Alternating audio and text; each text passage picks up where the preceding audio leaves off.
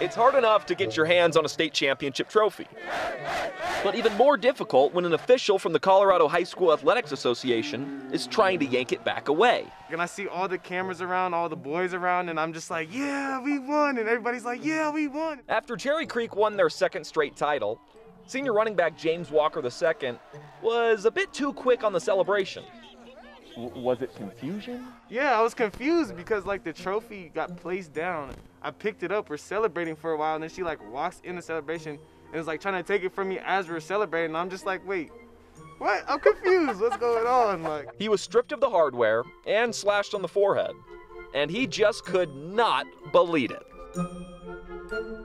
What, what was going through your head at this moment? I think I felt the the the trophy cut me and I'm just like, ow, like you just cut me, but like what is happening? Like we're winning, like we won, we won, like let me celebrate. I guess I just didn't really understand that she had to present it to us. 2020 sure has found a new way to leave a mark. During that game, were you injured at all?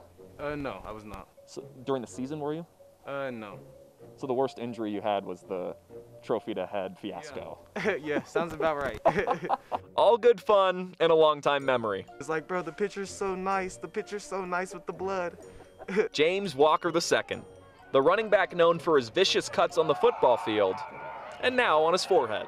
Yeah, as soon as we got on the bus, though, I was like, woo, I got a bad little mark.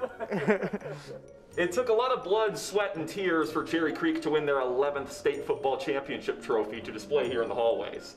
But number 11 took just a little more blood than they thought. Scotty Gange, 9 News.